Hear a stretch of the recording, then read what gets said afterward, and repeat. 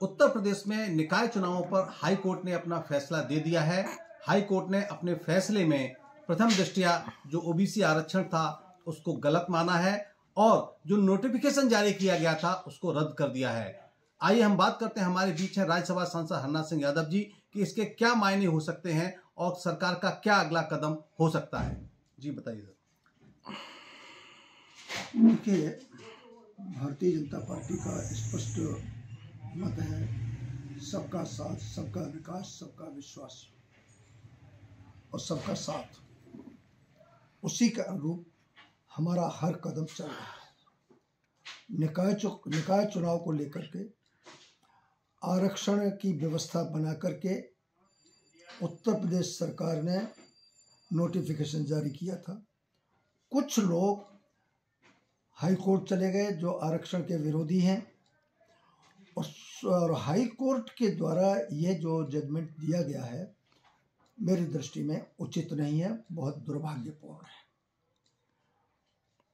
और मैं व्यक्तिगत तौर से अभी मेरी प्रदेश के अपने पार्टी से अभी वार्ता नहीं हुई है लेकिन भारतीय जनता पार्टी निश्चित तौर से ओबीसी, एससी सभी वर्गों को प्रतिनिधित्व देते हुए देने के बाद ही चुनाव करना चाहेगी, ऐसा मेरा विश्वास है। संसद जी, जैसा कि आपने कहा कि अभी पार्टी से आपकी बात नहीं हुई है, कुल मिलाकर हाईकोर्ट का मानना है कि अगर सरकार चाहे, चुनाव करा सकती है, लेकिन उसमें ओबीसी आरक्षण नहीं होगा। तो क्या सरकार की भी ऐसी मंशा है, चूँकि 2024 का मिशन सामने है, ओबीसी को निराश नहीं करना चाहती, इसलिए सरकार हाई, सुप्रीम कोर्ट जा सकती है, या और कोई विकल्प है उसके पास? देखिए 2024 के चुनाव की दृष्टि से या किसी को निराश करने की दृष्टि से विचार नहीं होगा। जैसा मैंने कहा कि हम जो संविधान में प्राविधान है, उनके हिसाब से आरक्षण मिलना चाहिए और भारतीय जनता पार्टी की सरकार ने, आदरणीय योगी जी की सरकार ने नोटिफिकेशन भी आरक्षण के प्राविधानों को करते हुए और किया था। अब हाई कोर्ट ने नहीं माना है तो इसके बारे में पार्टी आगे विचार करेगी और सबका प्रतिनिधित्व होगा, ऐसा मेरा पूरा विश्वास है। आरक्षण के साथ ही चुनाव होना चाहिए, ऐसा मेरा अपना मत है।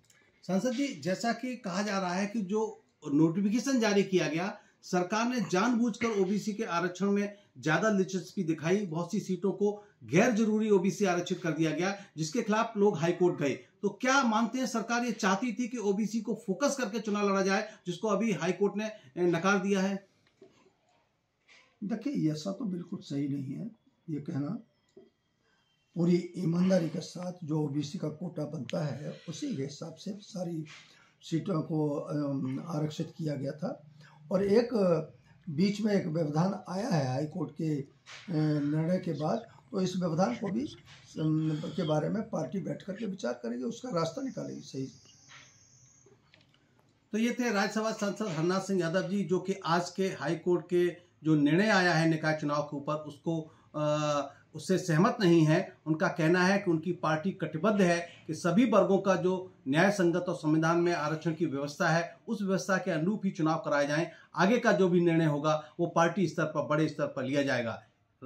एबीपी गंगा के लिए, एटा से राकेश भदौरिया की रिपोर्ट।